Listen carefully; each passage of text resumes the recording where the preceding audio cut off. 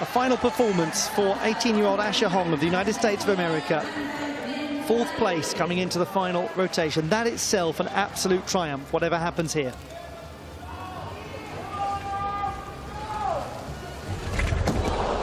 Really got so much height, didn't he?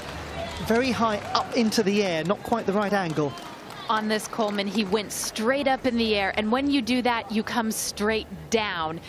There was no chance for him really to swing cleanly out of it.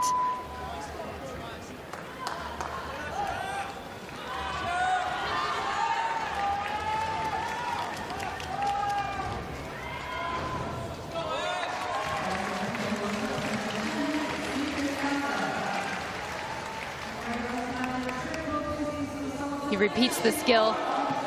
And that was an amazing catch. And his grips caught the bar. And on he goes as though nothing has happened. What composure.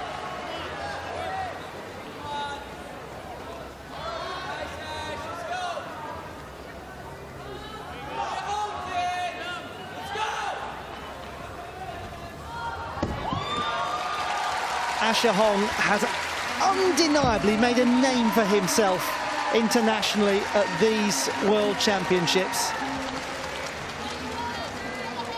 And he has had a brilliant competition.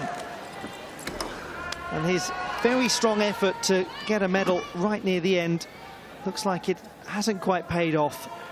But what he did manage to do on the horizontal bar was pull off one of the most extraordinary saves I think I've ever seen.